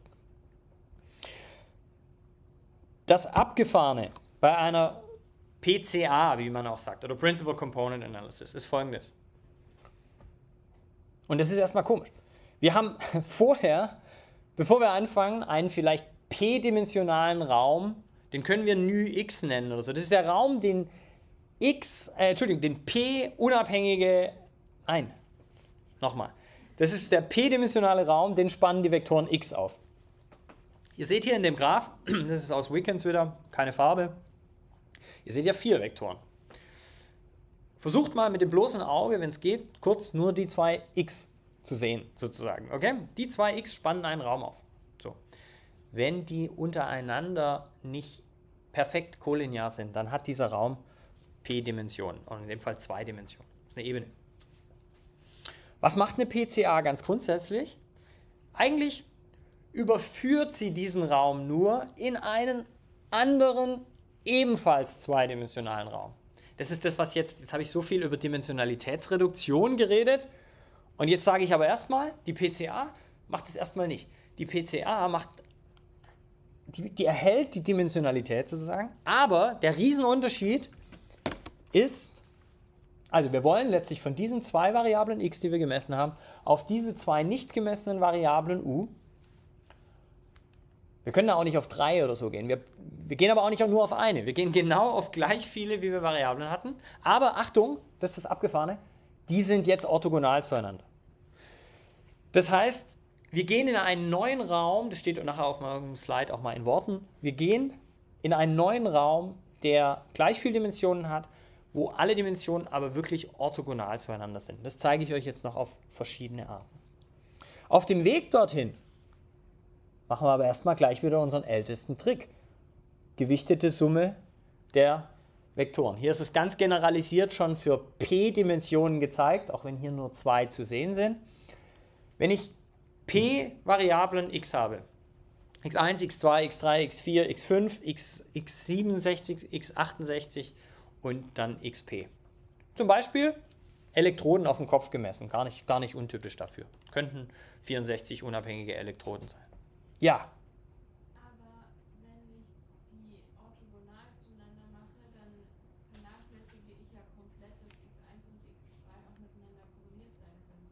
Nein. Weil alle, es geht keine Information verloren. X1 wird genommen und zerlegt sich, wenn du so willst, in einen Beitrag, der auf U1 geht und einen Beitrag, der auf U2 geht. Du kannst wiederum sagen, die Information, die in x drin ist, die bleibt erhalten in so viel von U1 und so viel von U2. Für x2, das ist korreliert mit x1, machst du aber das gleiche, auch U2, x2 wird einen, in einem gewissen Anteil auf U1 projizieren, Entschuldigung, ich habe es gerade für x2 schon erklärt, Äh, also für x1 ist es so und ein kleinerer Anteil, genau das wäre dann so, ein kleinerer negativer Anteil geht auf U2. Alle Information bleibt erhalten, nichts geht verloren. Ähm, und es gibt jetzt erstmal, das, das ist erstmal die Grundidee. Es gibt sehr viel Kleingedrucktes, das würde ich aber erstmal fast nachziehen. Ich drehe nur kurz, nichts Schlimmes, ich springe nur kurz auf ein Slide weiter statt und mache den mit, dem, mit den Textdetails äh, danach. Ich zeige euch tatsächlich einmal kurz einmal dieses Bild, man muss das mal mit bloßem Auge vielleicht gesehen haben. Jetzt versucht es grafisch darzustellen, was da passiert. Zehn Variablen x die, äh, und das hat die PCA so ein bisschen gemein mit anderen Verfahren, also äh, gemeinsam mit anderen Verfahren. Die, die, Grund, die, die Grund, wir starten tatsächlich von dieser Matrix x transponiert mal x. Das nennt man auch die Varianz, Kovarianz-Matrix meiner Regressoren oder meiner Variablen. Wir haben gerade machen keine Regression. Ich sollte sagen meiner Variablen. Die haben irgendwas miteinander zu tun. Ich habe quasi hier auf der Diagonalen dieser Matrix in Farbe kodiert die Varianz meiner 10 Variablen und ich habe hier auf der Diagonale, neben der Diagonale, in diesem unteren und oberen Dreieck, das ist komplett symmetrisch, bräuchte nur eins davon, die Kovarianzen. Das kennt ihr so, das haben wir in Statistik 2 mal gesehen für drei Variablen, jetzt ist es hier halt mal für 10 Variablen. Und da gibt es Kovarianzen und das ist genau das, was Sie ja gemeint haben. Sie haben doch gesagt gerade, die haben doch was gemeinsam, manche Variablen, die sind doch die, die, die x1 und x2, die sind doch korreliert. Ja, genau. Äh, gerne. Das, das wäre sehr gut, wenn sie das sind. Aber was machen wir? Wir projizieren diesen p-dimensionalen, äh, diese p-dimensionale Matrix, also die hat ja die, die Dimensionalität p mal p sozusagen, 10 mal 10. Die wird, man könnte auch sagen, rotiert in einen alternativen p-dimensionalen Raum, der aus orthogonalen Komponenten besteht. Und das sind diese sogenannten Hauptkomponenten. Derer gibt es so viele, wie der Raum Dimensionen hat. Wenn, der, wenn du zehn Variablen hast und die sind nicht perfekt kollinear, ich glaube, ihr habt bei Frau Tune zumindest die Coxys. Gibt es Coxys hier heute? Das dachte ich mir schon halb, genau. Aber vielleicht, aber wahrscheinlich hat Frau Tune euch alle mit dem Rang einer Matrix ge, ge, genervt oder geärgert. Der spielt hier auch eine Rolle. Das sage ich mal nur, damit ihr das auch mal wisst, wo das eine Rolle spielt. Wenn, ich eine, wenn der Rang dieser Matrix nicht 10 wäre, ja, dann kann ich, dann hat die PCA auch, dann, dann gibt es nur noch neun Komponenten vielleicht oder acht Komponenten sozusagen. Aber wir gehen mal von aus, die Matrix ist Full Rank, ähm, ist invertierbar. Ich habe diese 10 x 10er Matrix hier. Die wird also transformiert oder rotiert eigentlich nur in einen alternativen p-dimensionalen Raum, in dem alle Dimensionen u jetzt orthogonal zueinander sind und das ist irgendwie schon so ein bisschen Magic, finde ich. Das heißt, man könnte, wenn man so will, kann man es sich mal so darstellen, wenn man fertig ist mit der PCA, wir wissen nicht genau, was da alles passiert gerade, aber wenn ich fertig bin, bekomme ich eine Varianz-Kovarianz-Matrix, wo zwei Dinge entscheidend sind. Erstens, seht ihr das? Die Diagonale, die enthält nach wie vor Varianzen, aber das sind jetzt Varianzen dieser Komponenten sozusagen. Und ähm, das ist extrem eng verwandt, wenn auch nicht ganz identisch, aber proportional zu, soll ich sagen, zum sogenannten Eigenwert, das ist ein Wort, was man an der Stelle schon mal einführen kann, dem Eigenwert dieser Komponenten. Und das Tolle ist, dass die PCA, das hat ähm, wahrscheinlich Pearson, der hat die ursprünglich mal erfunden, der hat das schon so quasi, das ist, das, das ist der Art, wie, sie, wie die Komponenten gefunden werden, geschuldet. Die erste Komponente ist immer die, die am meisten Varianz sozusagen erklärt. Die hat den größten Eigenwert. Wir können untereinander ja auch Deutsch reden miteinander, wir können sagen, die hat die größte Vektorlänge. Und dann steigt es monoton, fällt es ab bis zur Peten. Und das ist natürlich super. Das heißt, wir können das dann, wir, wir können das uns dann immer plotten. Das sind dann die sogenannten Scree-Plots. Die zeige ich euch heute aus Zeitgründen nicht. Die gucken wir uns bei der Faktorenanalyse genauer an. Ähm, das sind solche, solche Plots, die diese Varianzen, aufgeklärte Varianz oder Eigenwerte der, der Komponenten abtragen. Und ganz wichtig, das ist die eigentliche Magic, die Komponenten untereinander sind also orthogonal und wir haben hier überhaupt keine Kovarianzen mehr zueinander. Wir können also sagen, wir haben etwas, was untereinander irgendwie korreliert war, hochdimensional, äh, eingedampft, jetzt noch nicht in der Dimensionalität, aber eingedampft auf orthogonale Komponenten. Und das macht das Leben schon mal sehr viel einfacher. Ich gehe jetzt doch mal kurz zum Kleingedruckten zurück, das ist der Slide davor, und sage also nochmal, erstens, wir verlieren keine Informationen. Wir haben genau, die Komponenten spannen sozusagen denselben Raum auf. P-Dimensionen. Die PCA beschreibt auch durch ein paar Tricks genau die gleiche Variabilität. Man könnte sagen, die Gesamtvektorlänge aller Vektoren x, wenn ich da sozusagen die alle quadriere und aneinander hänge, das ist die sogenannte Norm, das ist sozusagen eigentlich so der resultierende, die resultierende Vektorlänge in x sozusagen, die ist genau gleich wie die resultierende Vektorlänge in u. Nur kommen sie eben auf unterschiedliche Arten zustande. In u durch quasi orthogonale Beiträge ähm, und in, in x sozusagen sind sie eben korreliert gewesen, aber die, die Gesamtvarianz, die ich aufkläre, ist auch dieselbe. Das ist eigentlich das gleiche, man könnte es auch als 1b bezeichnen. Selbe Information, selbe Varianz. Aber eben drittens, ganz wichtig, alle Komponenten sind orthogonal zueinander. Und man könnte sagen, jede Komponente beschreibt sozusagen einen eigenen orthogonalen Subraum von unserem Originalraum äh, νx. Äh, genau, und das hatte ich gerade an dem anderen Bild schon schöner erklärt. Äh, wir haben quasi das so, dass die erste Komponente die größte Vektorlänge hat. Bezeichnet man auch als die erste Hauptkomponente. First PC schreibt man da manchmal auch. Ähm, und die ist sozusagen die wichtigste. Äh, und dann kann es aber sein, dass die zweite auch noch sehr viel Varianz aufklärt, die dritte auch noch. Für sehr viele Dinge in der Neurowissenschaft, in der Psychologie ist es aber eben so, dass du nicht P-Dimensionen brauchst, sondern du merkst dann letztlich an so einem Plot, das hier ist übrigens jetzt gar kein so schönes Beispiel, aber wenn ich euch ein echtes Beispiel mit Daten gleich noch zeige zum Schluss, ähm, das sieht man, man könnte eigentlich hunderte Komponenten haben oder der Raum hat erstmal hunderte Komponenten. Ähm, aber die ersten sechs, die ersten fünf erklären schon 90% der Varianz. Und dann sagt man, ja gut, dann mache ich doch, arbeite ich doch im Weiteren bitte lieber mit sechs Komponenten, die 90% der Varianz erklären, statt mit 100 Variablen oder so weiter. Ja? Bisschen strieze ich euch noch kurz, nochmal mit so einem, striezen hoffentlich nicht, also hoffentlich wird es dadurch ein bisschen klarer eigentlich. Es ist im Prinzip jetzt von mir gebaut, aber es ist dem kleinen Abschnitt in Tabachnik und Fidel nachempfunden. Wenn man sich fragt, was, was macht man hier eigentlich, dann sagt man nochmal, man startet in der PCA mit dieser Varianz-Kovarianz-Matrix meiner Variablen x. x transponiert mal x. Wenn ich also 10 Variablen habe und 300 Leute, dann ist das quasi die x-Matrix, wie ich sie habe. Könnte ich gemessen haben. 300 Menschen, 10 Items oder 300 Menschen, 10 äh, 10 Variablen. Transponiert ist dann also 10 mal 300. Das kann ich miteinander multiplizieren. Was passiert hier? x transponiert mal x ergibt etwas, das 10 mal 10 groß ist. Gerade wie in unserem Beispiel, wie oder wie in dem Bild, was ich euch schon gezeigt habe. So, die PCA-Lösung, wenn man so will, die sieht im Prinzip so aus, dass sie zunächst, hatten wir gesagt, keine Dimensionen verliert. Die Anzahl Komponenten m ist gleich der Anzahl Variablen p.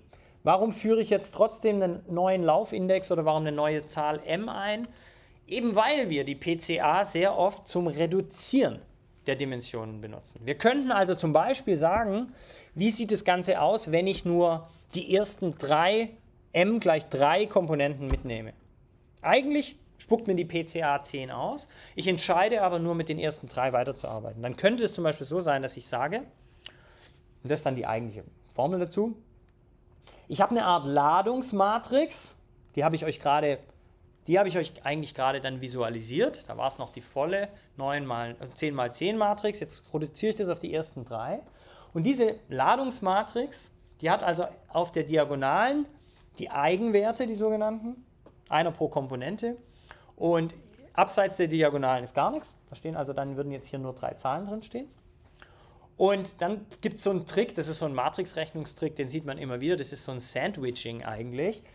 Die Matrix, die uns interessiert, diese äh, Kovarianz-Matrix, die bezeichne ich oft als, oder bezeichnet man oft als Groß Sigma, die wird quasi gesandwiched in so einem Vektor V' und V, also das ist, also auch nur ein, äh, eine Matrix mit sogenannten Eigenvektoren. Das könnt ihr euch vorstellen, das sind sozusagen die Richtungen dieser Komponenten. Ja, wo liegen die Komponenten? Und äh, in L sind sozusagen die Eigenwerte, also sozusagen wie lang sind die Vektoren. Wir haben es also mit, ähm, mit Vektoren und, und, ähm, und Vektorlängen quasi zu tun. Die Vektorlängen entspricht dem, was man als Eigenwerte bezeichnet. Und die Vektoren selber sind die sogenannten Eigenvektoren. Die wohnen hier in, äh, in V drin. Das ist quasi die Operation, die man eigentlich durchführt, wenn man eine äh, PCA macht. Man sieht an dem aber auch nochmal ganz schön, äh, Verschiedenes. Also erstmal könnten wir hier das nochmal, wenn man keine Dimensionalitätsreduktion machen würden, dann wäre das auch eine 10 mal 10, das wäre eine 10 mal 10, das wäre auch eine 10 mal 10. Das war dann nicht so ergiebig als Beispiel jetzt. Deshalb habe ich gedacht, ich zeige es euch hier mal mit einer reduzierten Variante mit nur noch drei Komponenten. Ähm, de facto wäre es aber, erstmal ist die PCA, das sieht man an dem auch ganz schön, erstmal ist es eine Transformation. Ja, es ist eine Überführung in einen anderen Raum mit dem Unterschied, dass dort die Dimensionen alle orthogonal zueinander sind. Ich gehe mal noch als letztes sozusagen, es kommt nichts Neues mehr, nur um es noch ein bisschen plastischer vielleicht auch zu machen, gehe ich mal doch zurück zu dem, was wir als Psychologinnen und Psychologen am besten kennen, nämlich einen einfachen Scatterplot. Nichts mit Vektoren, sondern einfach, oder fast nichts mit Vektoren, sondern einen klassischen Scatterplot. Das ist eine Animation, die zeigen soll, wie eine Punktwolke, das sind zwei unterschiedliche Punktwolken, aber das Problem ist das gleiche, hier sind es nur viel mehr Punkte, wie diese blauen Punkte sozusagen auf die erste Principal Component, wir können auch sagen, laden sozusagen. Also wie ist jetzt die Beziehung der einzelnen Datenpunkte? Die einzelnen Datenpunkte bestehen ja sozusagen aus zwei Variablen. Das ist jetzt der klassische, ganz klassische Undergraduate Scatterplot, wie wir ihn kennen. Variable x, eine Variable y. Diese hier in lila angedeutete Komponente, das wäre quasi die, äh, die Richtung, sozusagen der Eigenvektor. Der müsste in dieser Achse liegen, weil dort quasi, das seht ihr auch, die Abstände quasi am kleinsten werden. Gerade dazwischen, das sieht man in der Animation so nett, jetzt zum Beispiel, hast du wahnsinnig große Abweichungen, große Abstände. Das heißt, als Lösung für die erste Eigenvariate wäre das nichts. Wenn wir das aber so machen, dass wir sagen, das Lilane, immer wenn er an der Stelle gerade, wenn er das jetzt gleich nochmal, guckt es euch nochmal kurz an, wertschätzt einfach nochmal kurz, wie jetzt alle roten Abweichungen jetzt kurz sozusagen so am kleinsten waren, summiert. Ähm, oder summiert und quadriert. Ähm, wenn man das natürlich macht, dann würde man sagen, okay, in der Richtung liegt also unsere erste Principal Component. Und wie lang ist die? Das kommt eben auf die Daten an sozusagen. Also wie viel Varianz kann die aufklären? Das ist quasi die Vektorlänge. Und jetzt hatten wir gesagt, die zweite Komponente muss orthogonal zur ersten sein. Das heißt, in dem Beispiel kann ich euch gar nichts anderes zeigen, als zu sagen, die zweite Komponente muss dann so rum sein, wie lang die auch immer ist. Die ist nicht so irre lang. Ja, die erste ist definitiv länger, hat den größeren Eigenwert. Aber wir haben hier sozusagen dann nur die Möglichkeit, dass das hier die zweite ist. Und ganz zum Abschluss, weil ich das Paper so wahnsinnig gern mag, belästige ich euch mit etwas, das nichts mit Schizophrenie und mit Cannabis zu tun hat, wie sonst immer. Das kommt dann es kommt dann äh, nochmal, wenn wir bei den, äh, bei den SEMs sind, hoffentlich. Da suche ich noch nach einem schönen Beispiel. Aber ich zeige euch mal kurz, wie man so ganz praktisch ähm, eine PCA, also eine Dimensionalitätsreduktion, nutzen kann, um Videodaten zu Leibe zu rücken. Ich zeige euch daraus zwei Abbildungen, weil die erste sozusagen die Variante ist, wie man es vielleicht machen würde, wenn man keine PCA hat. Im gleichen Paper. Die Autoren haben zum einen eine Analyse gemacht wo sie die, also die, die filmen die Maus quasi so, wenn die, die Maus, die rennt da so umher und bewegt sich und dann äh, trinkt sie da immer so, so einen Tropfen Wasser und, ähm, und wird dabei halt so hoch aufgelöst gefilmt.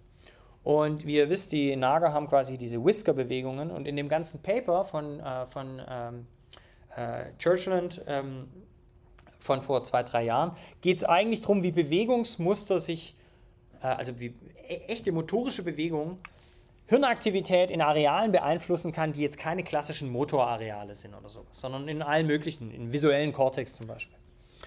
Ähm, in dem ersten Fall, das habe ich euch nur mitgebracht, weil ich gedacht habe, huch, da ist ja auch ganz viel drauf, was ihr schon kennt. Äh, in dem ersten Fall haben sie einfach quasi so eine Art äh, alle Pixel hier genommen, die so den Whisker etwa einfangen sollten, wo der, wo der, wo der Nager hier, wo, wo da Bewegung drin sein sollte. Und das kann man dann abtragen, dann sieht es etwa so aus. Ja? Das ist immer, wenn der mal kurz seinen Whisker bewegt, dann schlägt es hier so aus. Und das haben sie sozusagen äh, genommen. Äh, nee, Entschuldigung, hier sind die Whisker-Events. Entschuldigung, das genau, das ist immer ein Whisker-Ausschlag. Ähm, und dann haben sie eine Regression gemacht. Das heißt irgendwie Rich Regression. Wenn noch Zeit ist, im Januar rede ich mal ganz kurz über regularisierte Regression. Das ist Rich Regression. Ähm, das ist quasi dieses kleine Tierchen hier drin. Könnt ihr aber auch einfach heute absolut safe to ignore. Ihr sollt bitte hier sehen, was ihr schon kennt. Ihr sollt von diesem Slide weggehen mit einem Gefühl von, kenne ich schon. Nämlich das kenne ich schon. Das haben die netterweise da mal in die Figur reingeschrieben. Das ist ein lineares Modell. Und X sind die Whiskers. Irgendwie so, so, so zeitversetzte Kopien, wissen wir jetzt gerade auch nicht. Tut nichts zur Sache. Äh, das sind die Whiskers. Aber das kennen wir. Also X, äh, X äh, transponiert mal X ist quasi diese sogenannte Varianz-Kovarianz-Matrix. Und dieser ganze Ausdruck, den kennt ihr auch. Das ist eben klassisches, ähm, klassische Matrix-Division um an, um an die Betas ranzukommen. Ne? Hier wird quasi diese Zeitreihe regressiert auf diese Whiskers. So, was, das war jetzt keine PCA. Das war nur ein Zwischenspiel. Jetzt kommt noch ein Slide PCA und dann ist Feierabend. Was sie auch gemacht haben, ist, sie haben das ganze Video genommen, den ganzen Frame mit den letztlich wahrscheinlich Tausenden von Pixeln, so hoch aufgelöst, wie das gemacht ist, und haben darauf eine PCA gemacht. Nach allem, was ihr jetzt über die PCA wisst, wisst ihr, dass eigentlich sie auch so viele Komponenten hatten wie Pixel, also auch Hunderte mindestens oder Tausende. Aber sie plotten uns hier Anzahl Komponenten, die gemeinsam wie viel Varianz nicht erklären können. Bisschen kompliziert ausgedrückt. Man hätte hier auch einfach schreiben können, wie viel Varianz können die überhaupt aufklären. Dann sieht man, die erste Komponente kann schon 1 minus 45, also äh, 55% der Varianz in so einem Video, kann durch eine Komponente aufgeklärt werden. Das könnt ihr euch jetzt ein bisschen, erinnert euch an diesen Scatterplot. Das ist also so, wenn sich global die Maus einmal so in dem ganzen Video bewegt, sozusagen zum Beispiel, ja, dann haben alle Pixel einen starken gemeinsamen Anteil sozusagen. Ja, und das bildet eine erste Komponente schon sehr stark ab. Sehr viel Varianzaufklärung. Die zweite muss weniger sein, das haben wir gesagt. Die PCA spuckt die Komponenten immer geordnet ab, aus, also das muss runtergehen. Aber die Frage ist, wann ist es so weit unten, dass ich sage, jetzt reicht es mir? Und die haben zum Beispiel gesagt, ich habe hier mit 6, 7, also sie schreiben im Text genau mit, bei 8 ist der Cut-Off, sie plotten hier dann aber 6. Also irgendwo in dem Bereich, bei 6, 7, 8 Komponenten, habe ich 90% dieser Videovarianz erklärt. Und dann ist es doch ab jetzt viel schicker mit 6 zu allem Überfluss auch noch orthogonalen Komponenten. I mean, how great can it be? Du hast orthogonale Regressoren jetzt und mit denen gehst du jetzt los auf deine Hirndaten los und guckst, mit was korreliert im Hirn die, die erste Dimension, diese globale, nicht so viel, wie war es die zweite, wie war es die dritte, äh, bis zur sechsten sozusagen. Und ich kann dann auch noch Full Circle wieder zurückgehen, denkt an den Scatterplot und kann fragen, okay, jeder einzelne Pixel im Video, der wird auf alle Komponenten ein bisschen projiziert und trägt so sozusagen bei. Aber ich kann dann schon auch fragen, wie viel trägt jeder Pixel zur Gesamtvarianz sozusagen äh, in der Hirnaktivität dann da drüben bei. Das kann ich quasi rückrechnen. Äh, und dann sieht man eben auch, dass es wichtigere und unwichtigere Pixel gibt. Und die wichtigeren Pixel sind sozusagen die, die den Umriss dieses ganzen Tieres quasi abbilden.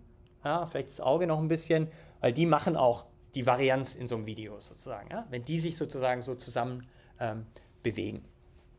Das wollte ich euch also nur als eher techy Beispiel mitbringen, wie man eben eine PCA ganz, ganz oft einfach ganz praktisch benutzt, wenn man sagt, ich muss diese Dimensionalität dieser Daten kleiner kriegen quasi. Dies wäre mein Schlusswort. Äh, wir sind auch über die Zeit. Wenn es Fragen gibt, die ich nicht beantworten kann, ist es so, dass es alles in Deutsch und streng und gründlich hier drin steht und in sehr intuitiv, aber dann auch nicht so nachvollziehbar, was die Mathematik angeht, bei, bei Wickens für die Geometrie. Äh, das Lavan-Buch brauchen wir eigentlich momentan noch nicht, das ist eher für nächste Woche. Aus dem war aber diese Taxonomie, warum das alles Strukturgleichungsmodelle sind auf irgendeine Art. Und Tabachnik und Fidel kann ich euch so auch ein bisschen für die Praxis empfehlen. Wenn ihr mal bei der Masterarbeit oder so ein Problem habt mit irgendwas, was in die Richtung geht, da sind auch Handreichungen drin, wie, na, wie viel, wie viel N darf es denn sein oder muss es denn sein, damit so und so viele Variablen äh, noch verkraftet werden, etc. Sowas steht bei Tabachnik und Fidel am besten. Ich wünsche euch jetzt erstmal schöne Ferien. Wir sehen uns in der Woche ab dem 9. Januar wieder, also am 12. oder sowas dann. Tschüss.